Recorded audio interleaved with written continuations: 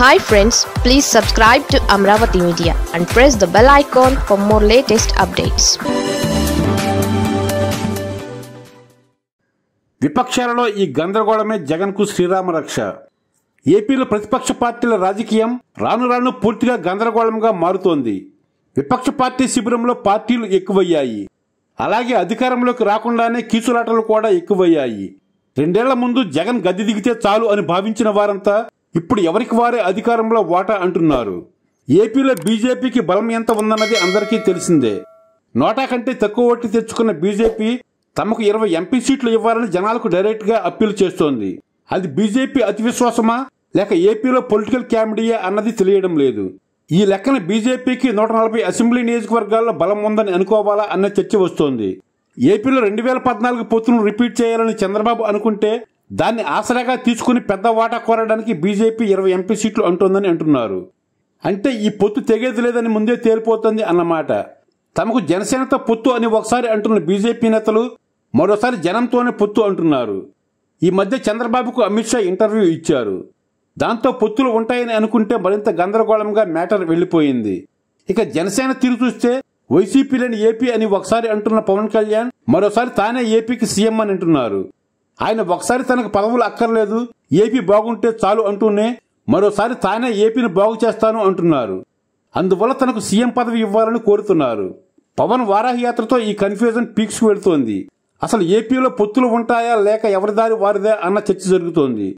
ఇక టీడీపీని ఒంటరిగా గెలిపించకుండా పెద్ద నంబర్ సీట్లు తమకు కావాలని జనసేన పట్టుబట్టేందుకే పవన్ వారాహయాత్ర నిర్వహిస్తున్నారని అంటున్నారు. ఇలా ఒత్తిడి రాజకీయం జనసేన స్టార్ట్ చేయడంతో టీడీపీలో ఆందోళన వేరే లెవెల్కి వెళ్ళిపోతోంది టీడీపీ విషయానికి వస్తే ఈ రోజుకి సింగిల్గా వస్తామని చెప్పలేకపోతోంది. అలాగని పొత్తులతోనే అని గట్టిగా అనలేకపోతోంది. ఈ రకంగా టీడీపీలో ఉన్న కన్ఫ్యూజన్ను పొత్తు పార్టీలు ఆసరాగా తీసుకోవాలని చూస్తుంటే అది ఏపీలో విపక్ష రాజకీయాన్ని పూర్తిగా గందరగోళంలో నెట్టేలా కనిపిస్తోంది. ఎన్నికలు చాలా దగ్గరకు వచ్చేశాయి. ఏపీలో అధికార పార్టీ తన దారి రహదారి అంటోంది. Jagan why not one seventy five అంటున్నారు. మాకు పొత్తులు అవసరం లేదని వైసీపీ ఫుల్ క్లారిటీ ఇచ్చేస్తోంది. మేము చేసిన పనులే మమ్మల్ని గెలిపిస్తాయని వైసీపీ బిగ్ సౌండ్ చేస్తోంది. ఆ ధీమా అయితే విపక్ష శిబిరంలో కనిపించడం లేదు. అంతేకాదు విపక్షాలు ఒంటరిగా వచ్చినా విడిగా వచ్చినా ఓడించి పంపుతామని వైసీపీ అంటోంది. విపక్షాలు ఈ రోజుకి ఒక మాట మీదకు రాకపోవడం చూస్తుంటే ఏపీలో ఈ గందరగోళం కాస్త వైసీపీకి లబ్ధి చేకూరుస్తుందని అంటున్నారు. ఇప్పటికే పొత్తులు అంటూ విపక్ష పార్టీలు తమ బలహీనతలను ప్రజల ముందు పెట్టుకున్నాయని అంటున్నారు.